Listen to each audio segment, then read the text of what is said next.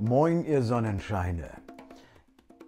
Ich besitze vielleicht die Reife, dir zu verzeihen, aber bestimmt nicht die Dummheit, dir noch einmal zu vertrauen.